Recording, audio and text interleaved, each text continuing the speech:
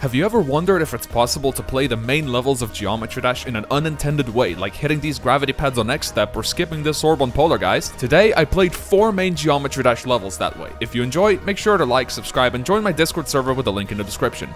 Let's go! Hello internet, this is Alias and welcome back to another Geometry Dash video. I just came back from the gym, it was leg day, and I feel like death. So today we're going to be doing main levels the incorrect way. I probably shouldn't be doing an intro because I don't have much time to record for the following reason. Someone is coming for dinner and it's our car mechanician. And I don't want to be sitting in my room yelling at my mic while he's in the other room telling my family about how yesterday our car exploded. So let's get straight into it. Today we're going to be doing main levels the wrong way. I have a few levels in plan, in particular Stereo Madness, Polargeist, X-Step, and to finish it off, Deadlocked. So let's begin with Stereo Madness. And you might be wondering, what is it with Stereo Madness that you can do wrongly? Let's think about it. Stereo Madness has a ship part in the middle, and there are spikes in that ship that literally nobody can die to, because they're impossible to die to. And I'm planning to get as close as possible to hitting those spikes that are hidden behind pillars. So rule number one, crash into every single spike that you can. Rule number two, you can beat the level, okay? Here comes the first spike, right behind this pillar afterwards. And I almost hit the second one. That wasn't quite what I was aiming for, so let's try again. Only after I crash into every single spike that is the hardest to crash into, then I can beat the level. Okay, let's try again. Okay, this time I bounced off of the block, so that doesn't really count. Attempt number three. As they say, third time's the charm. That's probably not what our car mechanician thought when he was fixing up our car for the third time this month. Okay, this time I have to get it. Here we go, and... Okay, I think we can count that as a win. So we got one down, and I'm not sure how many left to go. My legs are hurting so bad, you guys cannot imagine what leg days are like. I literally could not stand up if I wanted to. Okay, here we go again. I think the next spike that we have to crash into is upside down. So this one we have done, and then this one... Okay, that was definitely the second spike. Okay, that's good. So we got two down, and I think two left to go, if I remember correctly. Oh, and then I have to crash into that. Okay, yeah, that makes sense. I, I didn't see it. I think it's only that, and then another one after that, and, and then we're done, and then we can move on to the next level. Okay, so let's get it. First we got the first pillar, the second one, and then... I think we can count that as the second spike. It was kind of between the second and the third, but I can claim with a high assurance that nobody ever died there on Stereo Madness. So we got one more left, and then we're done. I I'm pretty sure that's the closest we're gonna come to dying at the third spike. Okay, so now we died at every single undiable spike, and I think it's time we complete Stereo Madness and move on to the next level. There we go, this was not very hard. And now we can move on to the next level, Polargeist. So there are only three rules when it comes to Polargeist. First, make it past the first jump without using the orb. Second, make it past the second jump without using the orb. And lastly, beat Polargeist. So as much as I've heard, it's impossible to do this with 360 FPS, so I'm gonna go ahead and switch to 60. And now I believe it's possible to make the first jump without using the orb. Just need a bit of practice and I'm gonna make it. Yeah, thanks thanks RobTop for giving me tips on how to play your game. I kinda beat like 20 extreme demons, I don't need this. I'm gonna get it, one of these attempts. Oh my god! Oh my god, I actually did that. I actually did that. Wow. Okay, okay, okay. I I, I, just did it again. I, I, just did it again. I genuinely did not imagine that it would be this not hard. I mean, it's hard, but I would imagine taking like 150 attempts to do it once, not seven or however many it was. Okay, so now we can hopefully make it past the second jump as well. 2,000 years. So I did some research online, and apparently on 60 Hz, the frames are aligned in a way that makes the first jump possible, but the second one impossible. So there's no way we can do that. Unless, unless of course, we get a copy of Polargeist and change it up. So first things first, we're gonna remove the orbs. Second, I'm gonna perfectly align the spikes and move them exactly 16 blocks apart. There we go. This should now be our version of Polargeist that is possible to do on 60 hertz. One. Almost two. Oh, oh my god. Oh my god, I actually did it. I actually did it. So now all there is to do is not die on Polargeist. I mean, it shouldn't be that hard, right? Okay, there we go. Challenge completed. But now that made me think. That didn't really take me a lot of time. So why would you have two jumps when you can have three? Let's make it three. Nothing better than three four spike jumps in a row. Let's see how fast I can beat this. One, two.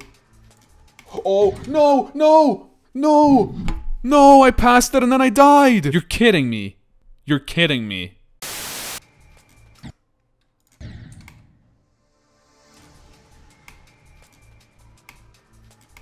Okay, good. Good. This was making me lose my mind. Good. Now I need to make sure not to die like I did the first time.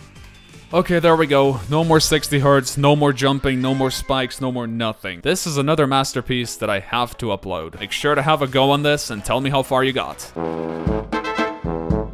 The next level I have in mind is X-Step. X-Step, as we all know, has a ship part, not exactly in the middle, just before the middle. And there's a bunch of gravity pads in that ship, right? So when I was just beginning to play GD, I always wondered if it's possible to beat that part while touching every gravity pad possible. And that's exactly what we're gonna do. We're gonna touch all the gravity pads that we can. So we have to touch as many of these as possible. I ran a short calculation and discovered that there's 20 gravity pads that you can touch at most. So that's what we're gonna aim for. We're gonna go for 20 pads. Let's see how many we can touch on the first attempt.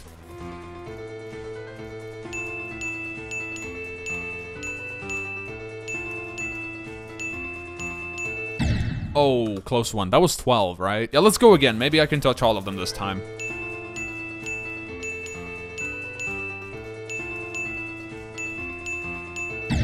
Oh, 12 again. Yeah, that's gonna be a bit of a problematic spot, but I think it's possible to do it.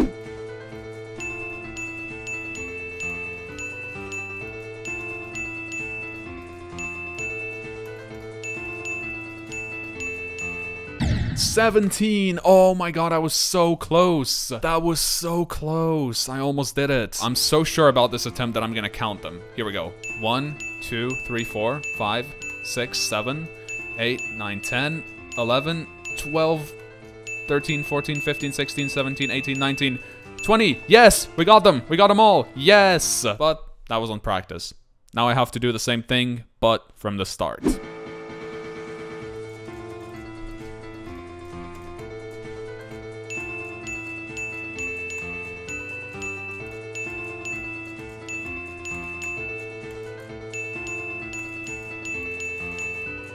Twenty. Okay, okay, we got them all. Good. Now I just have to not die.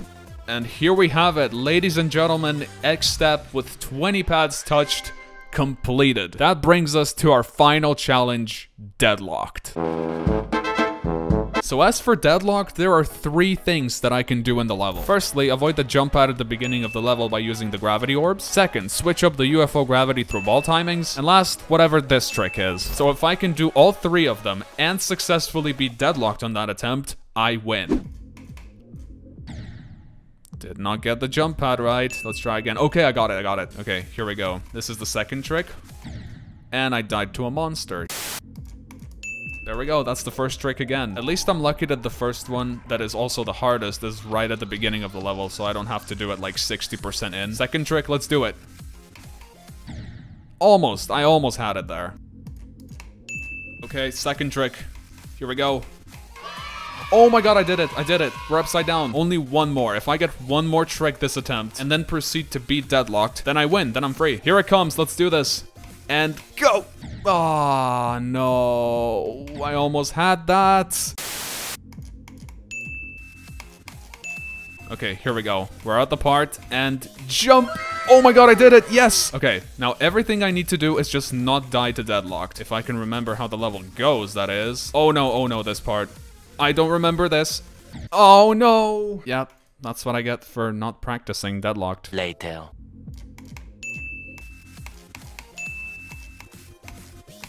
Okay, nice, we got them all. Let's go. This is it. This has to be the attempt. There we have it! Deadlocked, done in a way that no one has ever done it before. And with that, the challenge is complete. That's gonna be it for today, everyone. Before I get myself into any more unnecessary efforts, I'm gonna call it a day. Thank you everyone so much for watching, and I'll see you next time. Goodbye.